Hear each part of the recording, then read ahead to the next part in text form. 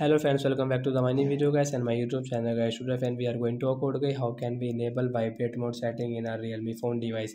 Friends you want to enable your phone vibrate mode settings so how can you enable? Today i will show you in this video guys. So before starting video friend first of all go and subscribe the channel guys. Click the bell icon like the video. So first of all guys we will turn on our phone setting to enable vibrate mode after on phone setting I scroll it. And so you can see this type of setting in your realme phone device. So how can we enable vibrate mode setting? And we will click on sound and vibration setting as tap here. And friends you can see this type of setting. So how can we enable vibrate mode? Guys you can see there is vibrate on ring but guys vibrate mode there is no any setting so friends you will have to click on guys the second option sound mode guys tap here. Friends you can see vibrate mode and silent mode. So when we want to enable vibrate mode so we will enable from here.